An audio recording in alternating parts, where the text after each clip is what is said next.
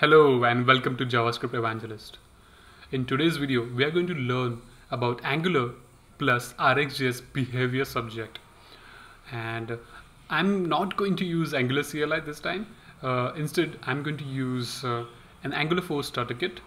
The reason why I chose Angular 4 is uh, currently I'm using the same starter kit at uh, one of the banking projects. I cannot name the bank names, but they are really big banks. And uh, also, I can show you that uh, 4.47 is an LTS version of the Angular, which is very stable in terms of security and updates. And uh, let's get started by cloning this starter kit. So this is the URL. I'll also be sharing this URL in the comments and description.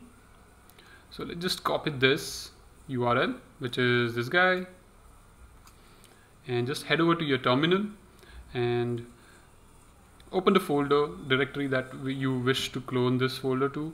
So I'm just going to type git clone paste the SSH URL and I'm going to name this as ng store.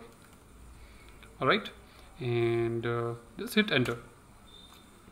Once uh, you have successfully cloned the repository into a folder this is the folder structure uh, you have to type npm install so what npm install is going to do is it will install all the packages from this package.json file.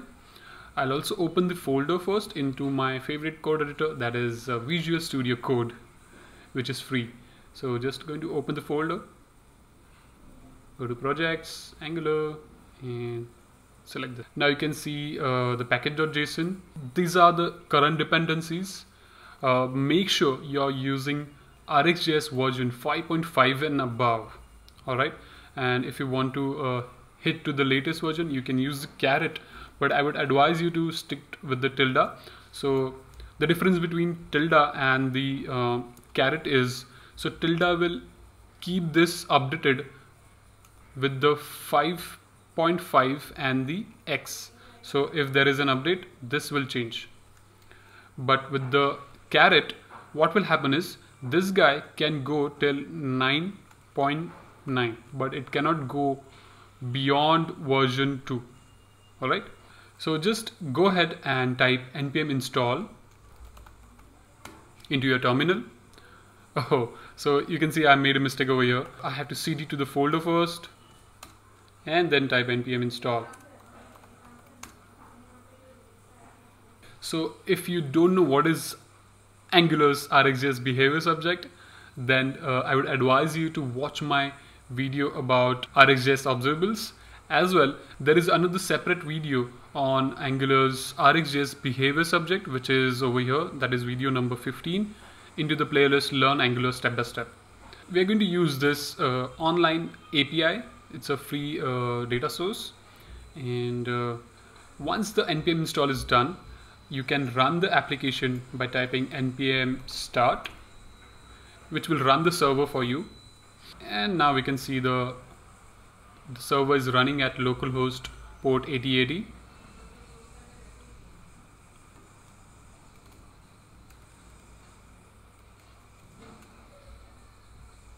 and you can see it works. Alright this is how the app looks now. And you can see we have only two routes over here. We have an about page and we have an home page. So what I'm going to do is I'm going to create a service uh, based on this API over here to do service and we are going to improvise our app into the future videos. Okay, so I'm just going to create a simple uh, service inside the shared folder over here. I'm just going to name this as uh, todos.service.ts. Of course, I'm going to use TypeScript.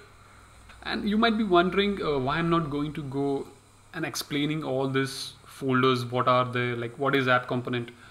If you're new to this completely i would definitely advise you to watch my learn angular step by step series. So let's just go ahead and create a simple to do service. And this is going to be an angular injectable service. And i'm just going to create a simple service. All right i'm going to name this as to do's service. And just remove this people over here all right. So this is a basic uh, service but as a thumb rule whenever you create a service you have to add it to the app module under the providers. So I'm just going to name this as to do service and which gets injected over here. And in the next video we'll start with the RxJS observable. So we'll create our behavior subject service. So stay tuned